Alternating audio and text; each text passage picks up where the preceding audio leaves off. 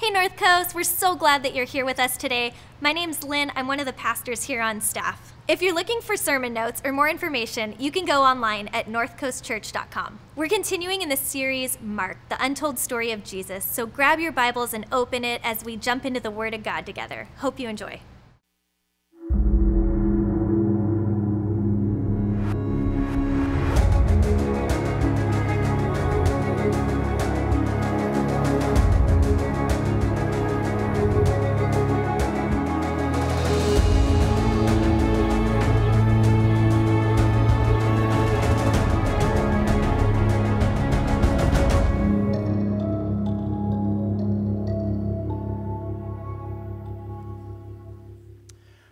Righty.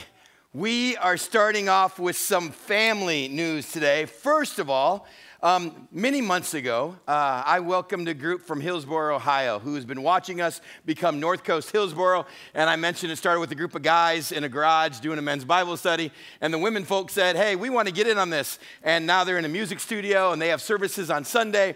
And I use the term women folk. I don't know why. Um, so I got a package this week in the mail uh, from the women folk of Hillsboro. Um, so uh, we called the bomb squad, SWAT. Uh, is it ticking? Is there wires to it? They wanted me to open it up, and I opened it up, and inside was this incredible t shirt. Um, so uh, I think that's a forgiveness, or we're still okay. So for the women, the incredible, amazing, beautiful, and wise, every one of them, women of Hillsboro, Ohio, uh, who are joining with us today. Uh, thanks for bringing the men folk with you, and, uh, and thanks for the T-shirt. Uh, so here's what we're doing a little bit different today. We're going to take about the first eight to 10 minutes and get you caught up on stuff that I've been being stopped with publicly. Um, whether the family and I are at the dinner or cruise around North County or wherever, people want to know about, hey, what's going on in Mexico or what's going on with the instrument drive that we just did.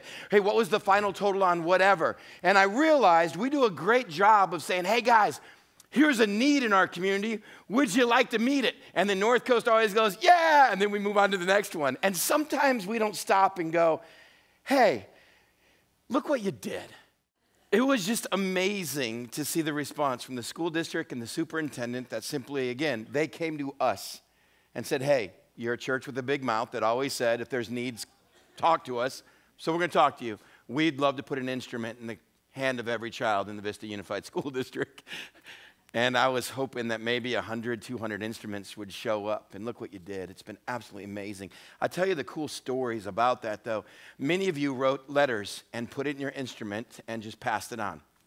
Um, letters that Christians are supposed to write. Not letters that say, hey, if you don't believe in Jesus, you go to hell. Here's a flute. And it's like, well, no, no letters that simply said, uh, This was the age this flute was given to me by my mom. Here's how many years I've been playing it. This is where this flute was able to travel with me, or this is where this instrument was able to go with me. Some of you played that instrument long past school. Some of you were been in bands and symphonies and orchestras. Some of you mentioned the states, the names, the countries that you were able to take that instrument to, and simply said, I hope now you take great care of this instrument. It's yours, and I just want to bless you with it to, to watch school superintendents and band directors not just be blown away by the amount of instruments, but to start going through the papers that some of you put inside. It was absolutely amazing.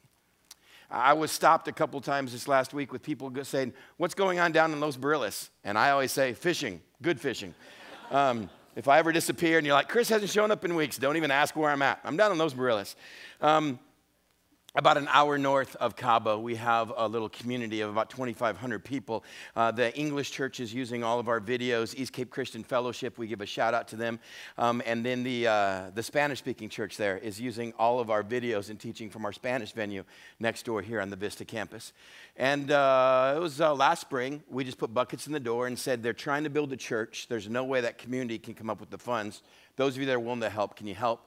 and you raised over half the money for their entire church and building. This is a clip of when we were down there in the fall because we had to check out the church and do a lot of fishing. And, uh, and I've shown you, I think, this clip, um, but uh, we got some videos this week. You're going to see this little. Uh, this little Mexican building uh, that they used to meet in. That was a church. And you're going to see behind it one of the largest buildings between Cabo and La Paz right now. And it is a huge white infrastructure. And the meeting space is almost done. And I was told in the next two or three weeks they'd be able to move both congregations inside that building. It looks like this.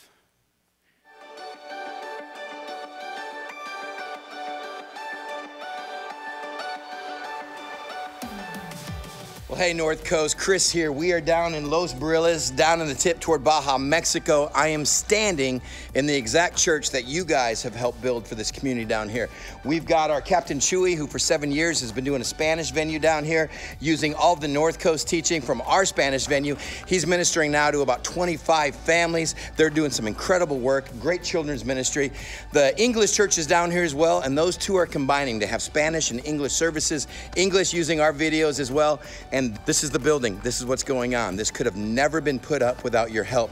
On top of this, behind me, there's a little foyer, there's restrooms, there's another children's classroom on the other side, and you are greatly changing this little city of Los Barriles and the ministry because of your generosity.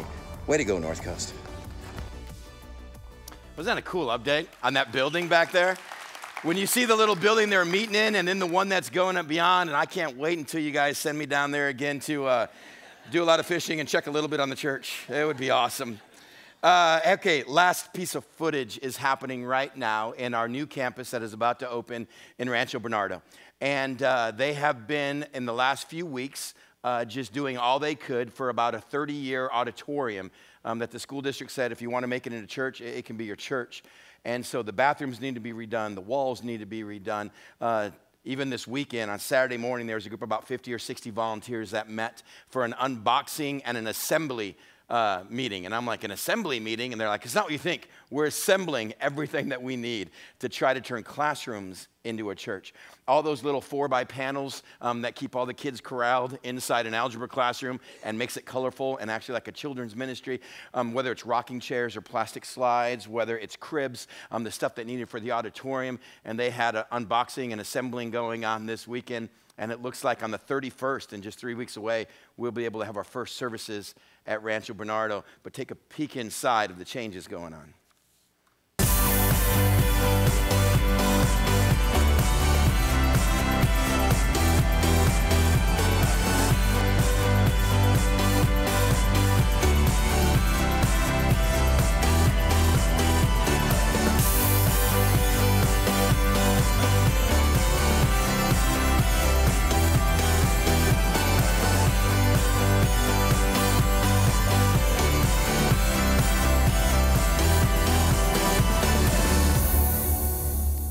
That, that last picture was our preview service we had a couple months ago. We said, hey, those are interested, just come and we'll have a little Q&A and a time of worship. And they almost filled the whole thing in just a preview service. So cool what is happening down there. So here's the problem. When I wanted to give you an update on stuff that's going on, my mind immediately goes, uh-oh, who are you going to miss? There's going to be people going, why don't you mention what we're doing? Well, how come no one showed up to it? Do you realize that now, North Coast, you're doing over four service projects a day? Four service projects a day in the communities around North County. It's what we ask every life group to be a part of. It's why every life group gets involved in those projects. And because of that multiplication effect, four a day are happening. And so I just wanted to run through a list of not just locally what is happening, but internationally what is happening. Hold your applause. This is going to be quick. I'm going to botch some names. I'm going to leave some people out. I apologize ahead of time. Greg and Julia Jones in the Solomon Islands, Casey and Christy Yorman in the Czech Republic, Jay and Deborah Evans with Outside the Bowl in Africa, Haiti, and Mexico. Christy Owen in the Ukraine. We are sending two of our student ministry uh, school uh, students out there this summer to work with her in the Ukraine. Greg and Helena Savoka in Serbia. David and Lily Chrisman and crew, Campus Crusade for Christ. There are two couples I cannot name. They are part of the multiplication ministries. They're doing underground house churches in China, and because of that, we will leave them nameless, but you know who you are, and those of you that support them know who they are. Shane and Laura Sebastian with Campus Crusade for Christ, Carlos Salas, Salas with uh, Reaching the Hungry, Sam Naylor in Russia running the huge orphanage and school out there. In India, Fabric just had a trip that got back this week working with the lowest of the low, those that are considered subhuman in the caste system, to bring them value and hope, to rescue them from sex trafficking, and to feed them, and most of all, give them the name of Jesus and value and that they are loved. The Skarnas with YWAM in Haiti, Nikki Cloys with Operation Mobilization, Deborah Ryan and Al Ellis with El Camino Ministries in Peru, feeding and Bible school for the kids. Tom and Lily Card running a dream center down in San Quintin in Mexico. Rod and Tina Struxman in Rancho Santa Marta, a Mexico school abandoned for, for, for abandoned and forgotten kids. Mike Stock working with kids around the world. Andy Vano with Pump It Up, bringing fresh water around the world. Quentin Hufford with Every Generation Ministries, Children Curriculum in Africa. Mark Palm running Samaritan Aviation in New Guinea, flying missionaries and desperate need in and out of small landing strips. Terry and Diane Williams, medical missionaries out of Carlsbad. You have built three churches in Ecuador in the last three years, one in Los Barriles that your fingerprints are on that you've just seen. Church planting, you've done over 250 church plants the last four years in Vietnam and Malaysia. Um, Compassion International, you're giving over $1.5 million annually to to help some of the most needy and impoverished kids, not just with food and medical supplies and education, but the hope of Jesus. Kevin Boyer, working with National Network of Youth Workers. Kyle and Wendy Menig, with the 210 group, Steve and Yumi Barrett with DCPI, Dynamic Church Planning International, which we partnered with to do all this church planning overseas, an organization of men and women that go in and find those that know God and would love to work, would love to serve, but they have no training, no Bible studies like this in their countries. And they go in and find leaders and teach and equip and raise church planners the Carpenters with Pioneer USA, Joyce Bouchier, I know I said that wrong, with EFCA, Reach Global, South Asian Friendship Center, Alan Shlemon with Stand to Reason doing apologetics, love that guy, Paul and Kathy Becker with DCPI. Paul Savona and Annette Nelson, who here try to keep all this going and link ministries and people involved with missions together. Thank you so much. I know I've forgotten some. I am so sorry. And yet, our military ministry to those of you, some 900 military families, because we're so close to Camp Pendleton, that are part of North Coast, and just love ministering to you and your family and how all of you serve, and yet how you take the ministry out of here on your deployments to a place where now we are one of the church services being broadcast in video over AFN, the Armed Forces Network, on a weekly basis to all of our men and women stationed overseas. This is just the list that I came up with this week, and I know I'm going to get a flood of what about, what about, what about, what about? It is amazing. Nationally, North County, and internationally, what your fingerprints are on. And the question has to come back why? Why? Why do you give millions? Why do you give time? Why do you give money away at the door? If you've got a venue or a campus, why do we care about Rancho Bernardo? Why do we care about those overseas? What has happened in the heart of humanity that has turned what I am naturally selfish and is mine and what I work for to be generous? We hit a passage today that defines it. This is Christianity. It's the first time through our study through the book of Mark as we've been looking at the life and teachings of this guy, Jesus, and we've been pulling the scraps off the wall, off the pages of what he said and who he's been with and where he's been, as we've been trying to figure out is this man, myth, or Messiah, we come finally in chapter 3 where he leaves the crowd, and chapter 4, he comes to a place where he decides to sit down, or in chapter 3, and say, This is what you're being called to do. So today, if there's a question in your mind about what does it really mean to be a Christian, if you're just checking it out, or if you're a follower of Christ wondering, okay, what's, what's my job position and title? What do I do? We've spent 13 minutes on looking at what we've done. Now let's look at simply why. Mark chapter 3, verse 7. If you have a Bible and you haven't been with us for a while, we're in Mark. If you've been with us for a while, your Bible just falls open to Mark at this point. Um, we've been here three months and we're in chapter three. We're a relatively slow church. That's okay. We love it. And we're in verse seven. Back of the Bible, look for the guys' names Matthew, Mark, Luke, John, Mark chapter three, or take out your smartphone. Verse seven. So Jesus withdrew with his disciples to the lake. Now, why?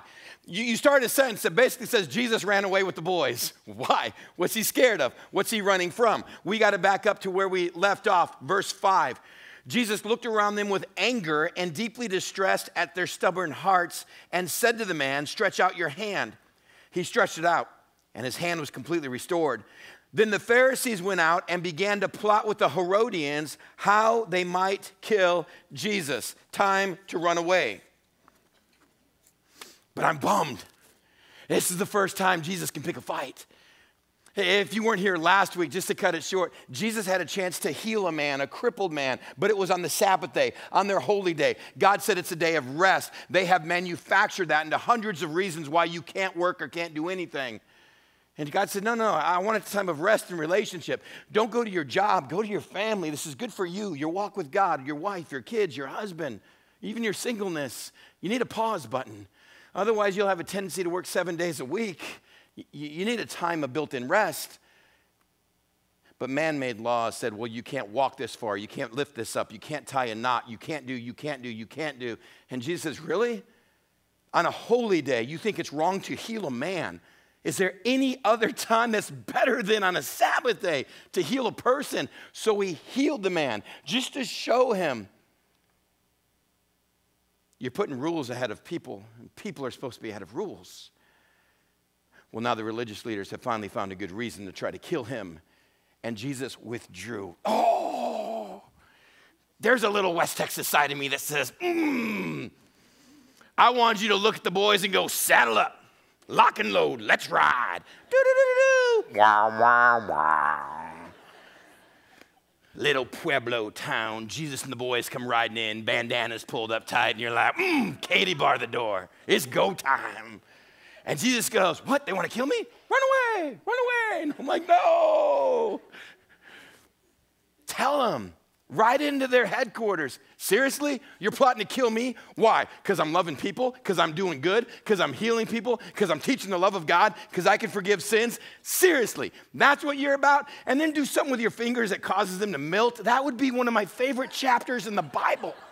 In the Bible. P.S. How dare you ever criticize Jesus? And I'm like, that's a tattoo worthy, right? Like, hey, don't, don't use his name wrong. Remember the chapter where he melted people? That's good. Not Jesus. Well, you guys want to kill me? Let's get out of Dodge. And he gets to 12, and they ride out of town. And we'll watch the strategy of this throughout this chapter. A large crowd from Galilee followed. And when they heard all that he was doing, circle, highlight, underline, doing, thank you, t shirt, Hillsboro. When they heard all that he was doing, Many people came to him from Judea, Jerusalem, Idumea, and the regions around the Jordan and around Tyre and Sidon. And because of the crowd, he told his disciples to have a small boat ready for him to keep the people from crowding him. For he had healed many, so that those with diseases were pushing forward to touch him. Now, whenever the evil spirits saw him, they fell down before him and cried out, You are the Son of God! But he gave them strict orders not to tell who he was. And he withdrew from the cities and he goes out to the lonely regions around the lake, but the crowds have heard what he is doing. No one is talking yet about what he is teaching. They all know what he is doing. And the crowds all come because they want him to be doing something for them. It's, it's bad English, it's good theology. They want Jesus to be doing something for them. And they all come so much that they're going to push around him. Knowing this, he tells his disciples find a boat somewhere on the shore, find someone that's not using one, get it ready. I'm going to push off from shore. Why? Because he wants to get rid of the people? No, once again, he wants to teach. We've been seeing this over and over. And I can't teach if everyone's pushing and shoving, everyone's touching, everyone's carrying their illness, their loved ones, their brokenness. And once again, we find a crowd that gets caught up in the spectacular, but not the spiritual.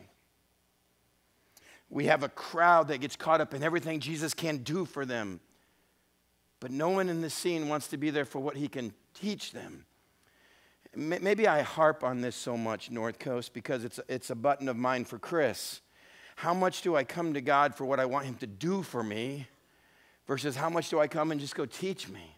Man, teach me. How do I become a better husband? How do I become a better dad? How do I keep a tighter rein on my mouth and, and my spiritual gift of sarcasm? How do I become a better leader? It's, it's in the Bible somewhere. I haven't found it yet, but it's in the book. It's in the Hebrew. How do I, how do, I do this better? And we find once again the crowds get in the way of Jesus' agenda. Now it says he does heal people, but it doesn't say who or what or how. It doesn't want to take us into the spectacular, it doesn't want to take us into the miracles. It's the compassion of this God that will heal people, but his agenda is to change us spiritually, internally. Everybody he heals will die.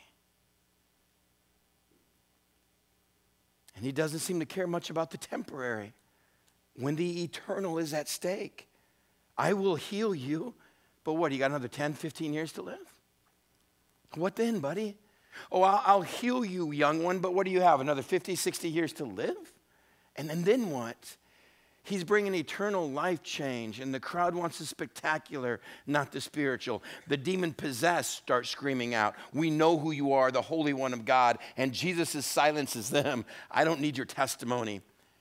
There's happening throughout the secrecy in the book of Mark where he's telling people, Don't tell anyone what I just did, or he's silencing the demoniacs that come to him because he knows this is the result. Everyone is coming because they want God to bless them. And the more the word gets out that God is on earth, they just want me to bless them. I've come to teach them. And sometimes our understanding and definition of God gets in the way of what He wants for us. He wants to teach. He withdraws to a lonely place. He has them have a boat where he can push off from shore and teach. In verse 13, Jesus went up on a mountainside and he called to him those that he wanted, and they came to him. Now he appointed 12, designated them apostles, that they might be with him, and that he might send them out to preach and to have authority to drive out demons. These are the 12 that he appointed Simon, to whom he gave the name Peter, James, son of Zebedee, and his brother John. To him he gave the name Boanerges, which means sons of thunder. That's a good one. Andrew, Philip, Bartholomew. Can, what's your favorite Bartholomew story? That's what I thought. Matthew, Thomas, James, son of Alphaeus, Thaddeus. Oh man, talking about Thaddeus. I love the story where Thaddeus was, he. Mm. Isn't it amazing? We got a list of the 12 disciples, the apostles. And the vast majority of them, you're like, Didn't he, was there seriously, babe, did this really Thaddeus? Oh, I should bring a Bible. Is there really a Thaddeus in there? Friends call him T Had, but he's in there. No big story about him. T Had. Why do you even say this out loud? Just keep reading, you're teaching. Simon the Zealot and Judas Iscariot, who betrayed him. Always mentioned last with the little don, don, don, don. And when Jesus entered a house, and again, a crowd gathered so that he and his disciples were not even able to eat. When his family heard about this, they went to take charge of him, for they said, He is out of his mind. Mary, the siblings that Mary will have with Joseph after Jesus. Have you heard what your son's doing? Yeah. How can you not hear? James, the half brother at this time, is with Mary at home with the other siblings. The Bible will mention the brothers and sisters that he has. And numerous times in the Gospels, when we have them, they come to try to get Jesus back home. What are you thinking? You're going around telling everybody you're God? The crowds are pushing in so tightly, you can't even eat. This is ridiculous. And he gives no answer to them. We'll come back to that. What I really just want to camp on today is this definition of disciple. He called them to be apostles. But, but then in, in Matthew 28, at the end of this, he'll tell them, Go into all nations, baptizing people, teaching them everything that I taught you. It's a teaching ministry.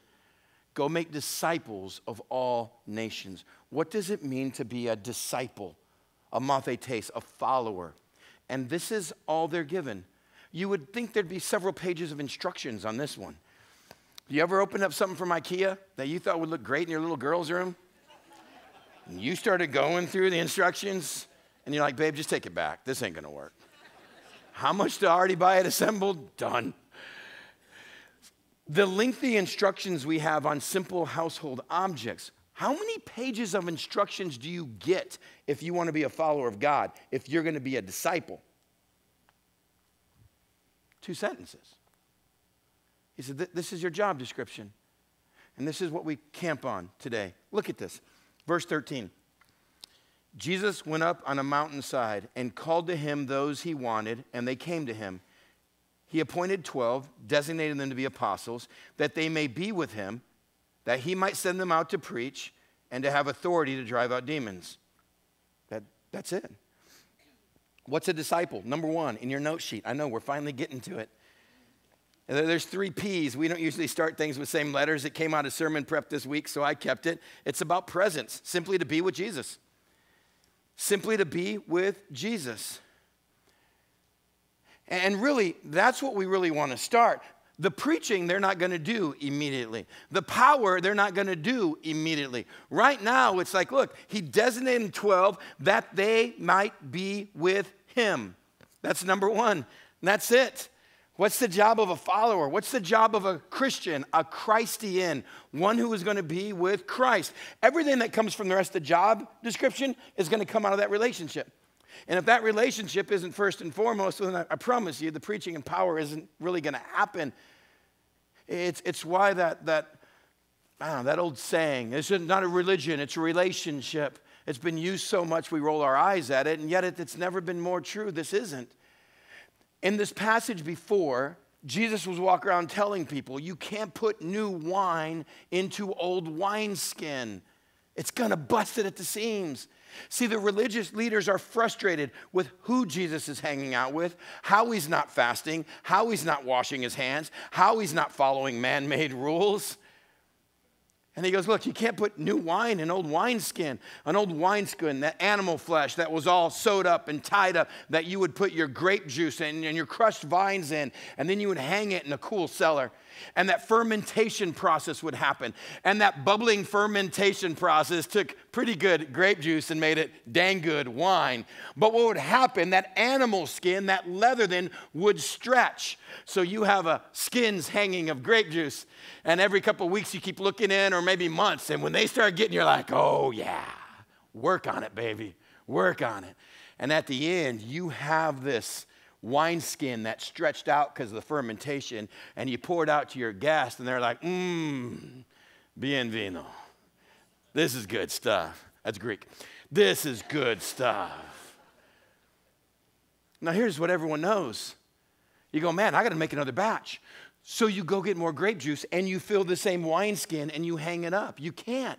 That wineskin has already gone through the stretching process. Now, if you fill that wineskin the moment the fermentation process happens, that skin can't, it's just grape juice all over the floor. No one's drinking that stuff. Yeah, you don't get it. He goes, okay. Oh, here's another one. You can't sew a new patch on an old shirt. I'll be here all week, everybody. and these first century terms I read and go, all right, he's into like microbrewing and sewing. A couple hobbies of Jesus, never knew that, don't quite know where they fit. So if, if he got the brewmasters in the crowd a little bit with the fermentation process, now he got the women folk. There you go, send another shirt, here we go. Now they got the women folk on this one. And they're like, oh, of course you don't. And the guys are like, what do you mean? Well, honey, it's simple. If you have a new patch and you put it on the old shirt, that old shirt has already shrunk, it's already stretched, but the new patch hasn't. So you put a new patch on your old shirt and we watch it, that patch is gonna shrink, but because the other material's already gone through its last, it's just gonna rip it apart at the seams. Oh, it's kind of the same thing you said about wine, huh? Mm-hmm. What's it mean? I don't, maybe we're doing stuff at home wrong. I don't know. It's Jesus standing in the midst of all religious leadership saying, I will not fit your box. I am not going to be a patch for your life. I will not. I will blow it apart at the seams. Your flesh cannot handle this. I'm not going to fit religion.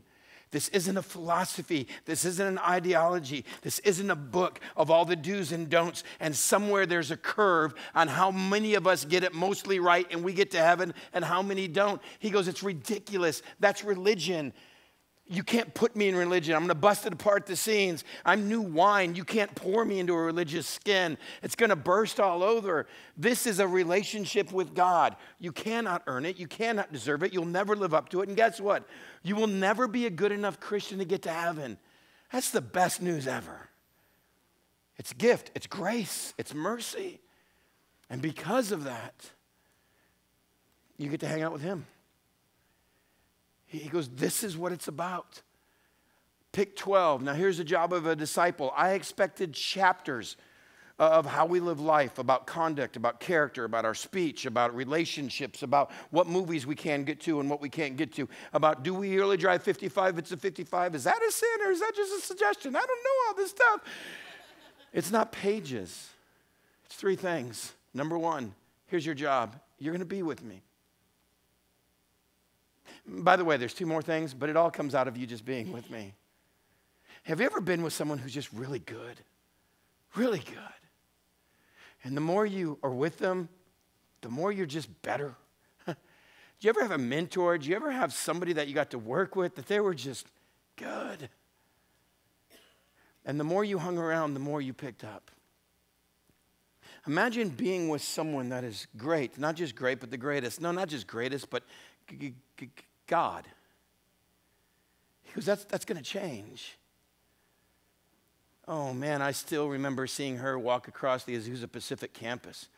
Always with this little sundresses, little sandals that match, little something in this long flowing hair, dark Jewish skin, jasmine like, and not color, but princess. Mm-hmm, eyes, ah.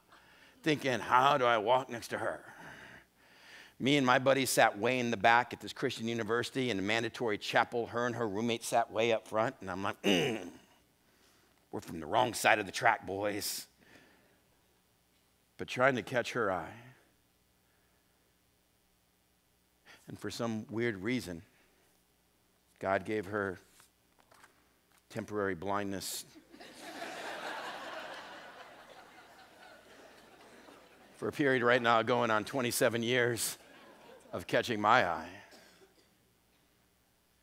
and me catching hers. I'm a 23 year old freshman after two years at Palomar. That's all you need to know about my education. She is a 21 year old senior. And her friends cannot believe she is starting to walk with the obnoxious old freshman who screams like an idiot at basketball games with half of a helmet on his head with an antenna coming out of it. It was a God thing. And the more I just hung out with her and started to drop all this facade of who I am and the life of the party, but just me. And the more she knew me, she liked that me, not the me I pretended to be. And the more things people had been telling me my entire life that I wouldn't pay attention to. She just had to whisper once, and I'm like, I'll knock it off. You realize that most of your jokes, when you say, like half the people you joke about, they cry afterwards, and I'm like, ah, they got to put on their big boy pants. She's like, why don't you knock it off? Knocking it off. Done. What else? what else? What else? This is discipleship. My, my love for her wasn't as much of the attraction. I couldn't believe how much she loved me. And the more her actions daily started to show that love for me, it made me just go, I want to be better. I'm not working for her love, it's already there. I just want to, for her, I should be better. I just should be better. It's, it's 1 John 4 that we don't love God, it's God that loves us. This is love. Not that we love God, but that God first loved us and gave his son for us. I grew up in a church that told me my whole life this book tells me how to love God. It is so hard for me to love someone tangibly, let alone an invisible God. No one ever said, No, no, no, Chris, you got it backwards. Just start hanging out with Jesus. And I promise you, when you start realizing how much He loves you, what He's done for you, that He'll never take His hands, His eyes off of you, there will start to be a response, buddy. And you will find in living out that response that it's, it's, it's loving God, and it is not something you have mustered up. it is a response to being with a God that loves you. This is the call of Christianity. It's not pages. I need you guys to be with me. I wrote there in your note sheet right above it. Oh, I didn't. Oh, it's right under there. Acts 4 13. Acts 4:13, It's simply the disciples that are walking around Jerusalem after Jesus died and rose again. And it said, People realized that they're unschooled, uneducated fishermen, but they marveled at what has happened with these fishermen after three years. The crowd marveled at these unschooled, uneducated, untrained fishermen and took note that they had been with Jesus. Isn't that cool? What happened to your life? I love going back home and bumping into old classmates. Brown, oh my gosh, I have so many stories. I haven't thought of you in years. Oh my gosh, what are you doing? Actually, I'm a pastor. oh man, you're funny as blank. You've always been so effing funny. That's hilarious. Oh, really, what do you do? Oh, like I teach at a church. Oh, yeah, everybody. Oh. No, seriously, what are you doing? I'm like, we're done with this conversation. I don't know. What, I don't know. Ser- what happened to you? I met a guy. I met a God changed and just rocked me. This is Christianity, uh, Christianity that we just practice the presence. How are we with Jesus? It's why we talk so much on just being in the Word. It's why we talk so much on every once in a while I got to turn my 80s music off and I just listen. We live in a day and age where we can drop a podcast on anybody, a day and age where we can get the Word of God into our lives in a million ways. And it's just that time of soaking in wow, this is God. I'll listen to Christian radio. It's hard because I always critique teaching pastors. I critique the teacher. Why'd you do that? That's an illustration. That's not even true. I don't think that verse even applies. And I'm like, shut up, shut up, shut up. Just listen. Just listen to the Bible. Pick something out of this that God is doing and who He is, even if you've heard it a thousand times, just to hold on to. And uh, underneath there, I put 1 Samuel chapter 4. Oh, I didn't right next to presence to be with Jesus, 1 Samuel chapter 4, is this incredible story about a kid, Samuel. His mom prays and prays and prays that they may have children. God finally gives him a son. And when he is young, she takes him to the temple and she says, I'm, I'm dedicating him to the Lord but I'm leaving him at the temple. He will live here. I will come and visit, but he will work with the high priest of Israel, where the tabernacle, the ark of God is, the gold box. That's where Samuel lives. Every day he's a part of the sacrificial system. He's, a, he's an intern. And what's the epicenter of all things Yahweh, God at that time? And in 1 Samuel 4, there's a story about God whispering his name Samuel, Samuel. And he keeps running to the high priest at night. Are you calling me? He's like, I'm not calling you. And this, this simple verse that simply said, For Samuel did not yet know the Lord the word of the Lord had not yet been revealed to him. It's one of the most terrifying verses in the Bible. You can live at the temple, you can daily work with the high priest. You can be involved with the most religious activities every day of your life and not know the presence of God. It's religion. And Jesus says, Don't pour me into religion, I'll bust it at the seams. Don't put me as a patch on your religiosity. I promise you, it'll tear it apart. This is a relationship that I want you to walk with and know. He says, secondly, in that, then you're going to preach. Simply, you're going to pass on what you've learned from Jesus. You're going to pass on what you've learned from Jesus. I don't even want to hit that today because we'll be talking about that as the chapters go on. He'll send them out and we'll see what the disciples do. For now, they got to do step one. So they're not about preaching yet. Suffice it to say, though, suffice it to say, that's pretty good for me. I like that.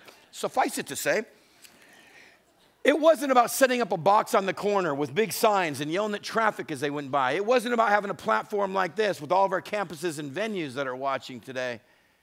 It's simply passing on what you have learned from being with Jesus. Sometimes preaching, sharing, is, is talking to another mom about raising a kid and what you found because of the truth of Christianity. Sometimes it's just talking to a friend about what they need to do in marriage because of what God has done in your marriage. It's simply passing on. Man, this is how my life has changed. I'm, I got to share that. I don't share religion. Everyone has their own religion, worship what you want, go with you. I'm not going to share religion. I got to share life change. I, I got to share what makes me the husband I am, the dad that I am, the, the employer, the employee that I am. I got to share that. But that only comes when step one is happening.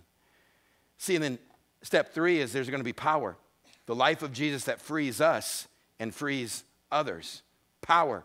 It's the life of Jesus that frees us and frees others. Again, I'll read it. It's real short. He goes up to the mountain. He called to those he wanted. They came to him.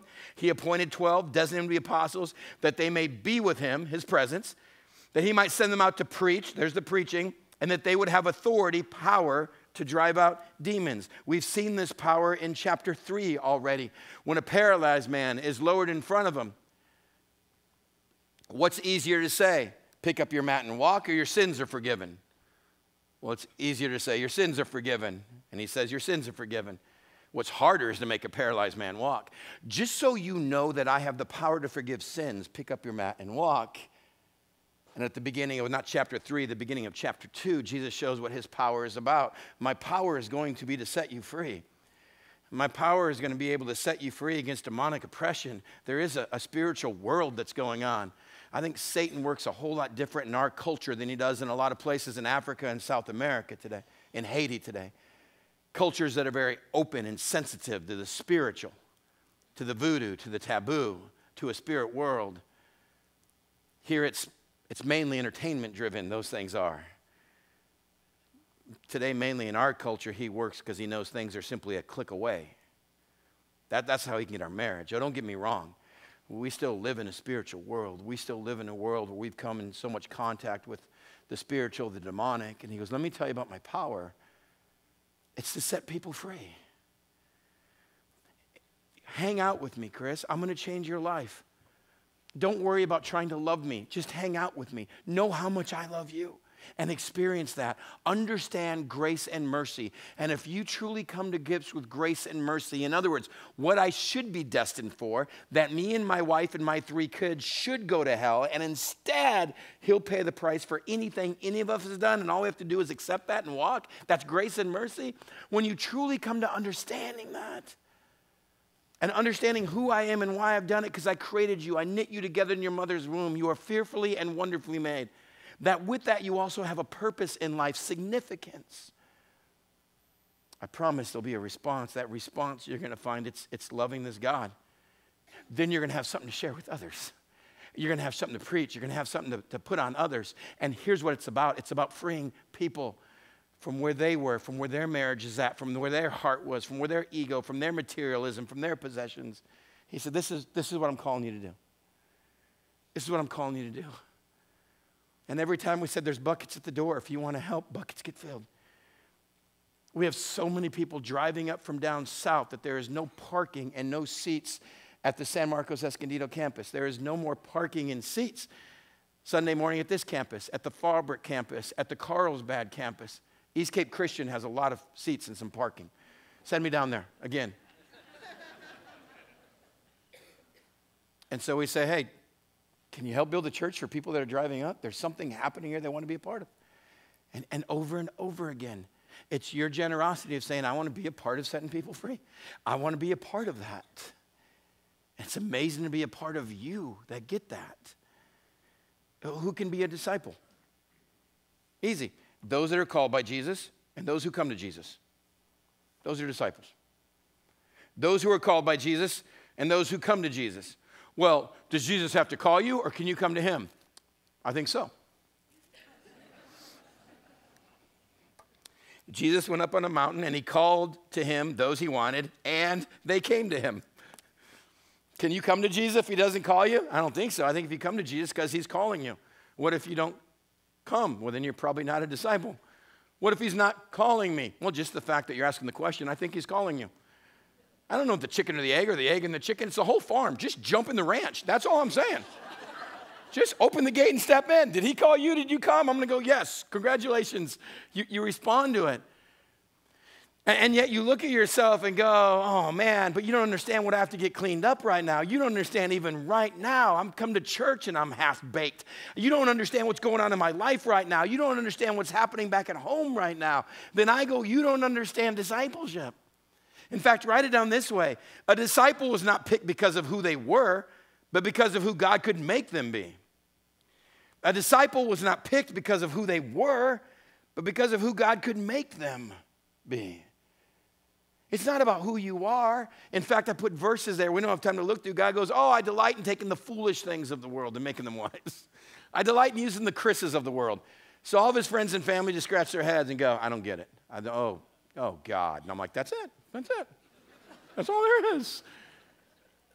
It's not about where you are today, it's where God wants to take you. And we have so many reasons and excuses why it doesn't apply to us. And I go, then you don't understand following he, he picked a, two guys he named Sons of Thunder. Is that a little curious? Is there an anger issue in the home?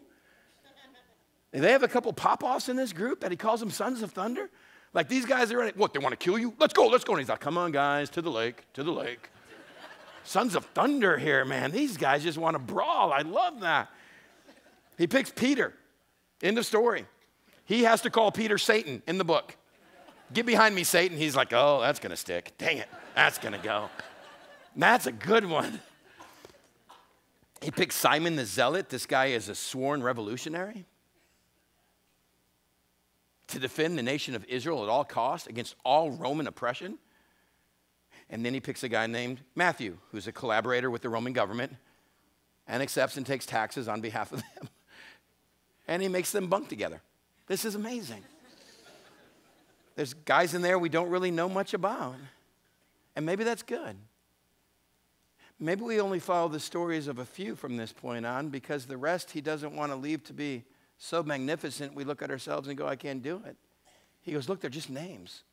It's not about who they were, it's about who I'm going to make them to be. Man, I picked 12. It's a different group of 12. I want three smooth talking guys, three guys with woo, W O, winning others over. Three guys that are just like good on stage. Three guys that are slick with words. I want two like theological PhDs that can always fact check everything, make sure we're doing things right. They can write the messages. My other guys deliver it.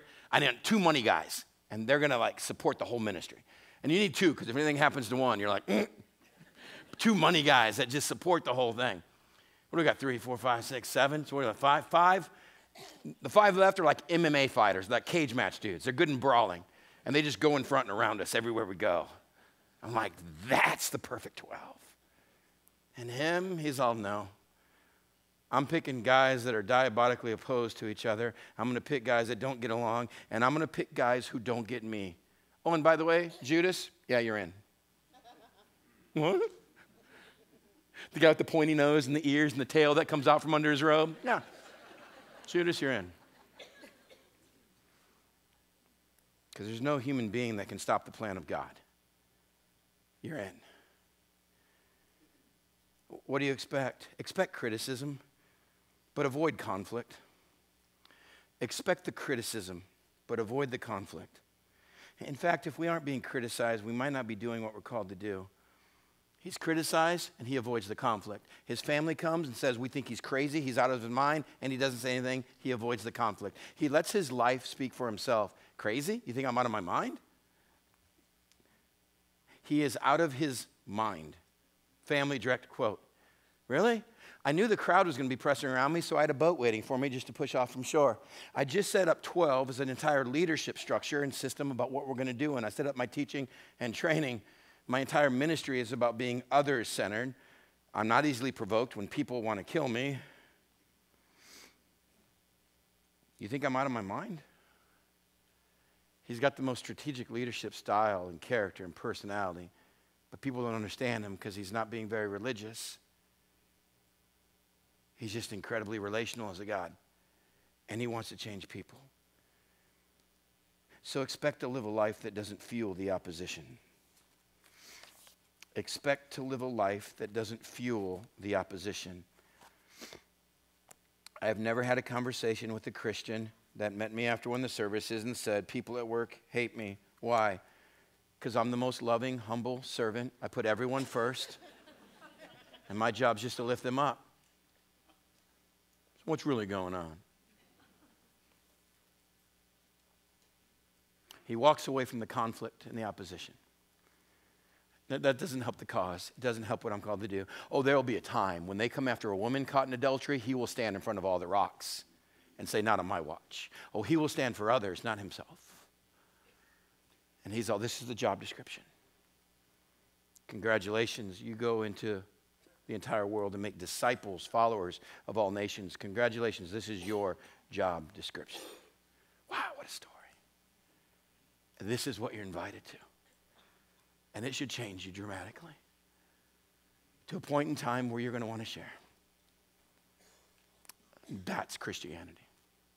Father, may we be a people that continually come back to a calling of just practicing your presence, not an hour and a half on the weekend, but God, how daily are we walking with you, keeping in mind you cannot, will not take your hands, your eyes off of us? How are we daily finding place to read or listen or get your word into our life? How are we daily, God? Just coming back to understanding how you see us so that we can learn how to see ourselves, so that we can learn how to love others. May you continue to move all of us, wherever we are on that journey, closer to you, to be more like you. In Jesus' name. Amen. Well, as always, we'd love to connect with you online. You can send any questions, comments, or prayer requests to info at northcoastchurch.com. We also want to thank you for your continued generous support. If you'd like to give, you can donate online through our website or the North Coast app. We hope you were challenged and encouraged this week through the message. We'll see you next time.